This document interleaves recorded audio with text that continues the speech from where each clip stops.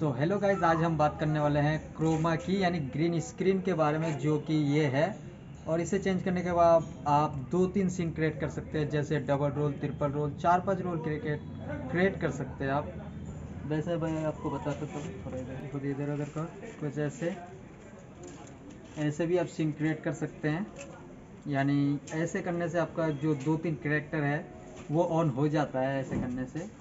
और इसमें आप कुछ भी कर सकते हैं। यानी आप अगर ग्रीन प्राइस में मिल रहा है, आप इसको लीजिए और अपने कैरेक्टर को बहुत सारे कैरेक्टर में आप शूट कर सकते हैं। जैसे इधर उधर घूम के या अपने हाथ में वेब कैम लेके कैमरा लेके, जैसे मैं यूँ कैमरा पकड़ूँगा तो मैं यूँ अब यूँ अपना वीडियो शूट कर पा रहा हूँ ऐसे में।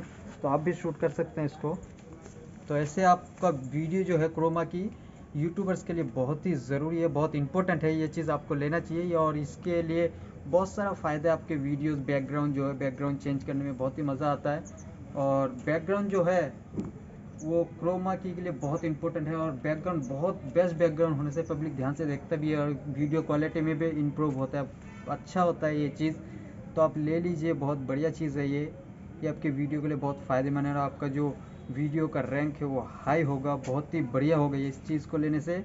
बहुत सारे फ़ायदे हैं और वीडियो शूट करने में इजी होता है, यानी बहुत सारे दफ़ा आप अपने रूम पे सेट कर लो लाइटिंग इफ़ेक्ट बहुत बढ़िया होना चाहिए।